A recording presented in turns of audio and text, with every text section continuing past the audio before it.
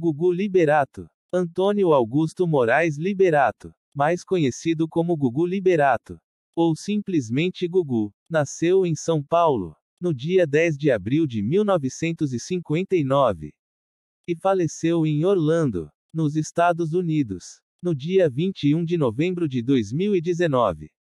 Foi apresentador de TV, empresário, ator, cantor e artista plástico brasileiro, filho de imigrantes portugueses. Na adolescência, Gugu escrevia cartas para Silvio Santos, sugerindo programas, e terminou por contratado. Começou na TV, aos 14 anos de idade, com assistente de produção do programa Domingo no Parque, apresentado por Silvio Santos no SBT.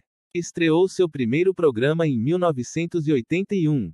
No ano seguinte, começou a apresentar o Viva a Noite, seguido pelo Sabadão Sertanejo, Domingo Legal e Gugu. Seu último trabalho na TV foi no talent show Canta Comigo.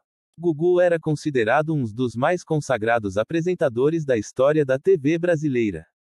Em 20 de novembro de 2019, Gugu sofreu uma queda em sua casa em Orlando, na Flórida, nos Estados Unidos. No hospital, seus familiares solicitaram que um médico brasileiro amigo da família viajasse até os Estados Unidos para avaliar o quadro clínico, para então decidir como proceder diante de tal situação.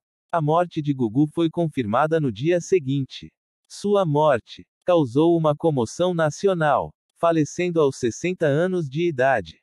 Seu corpo está sepultado no cemitério Getsemane, Morumbi, São Paulo.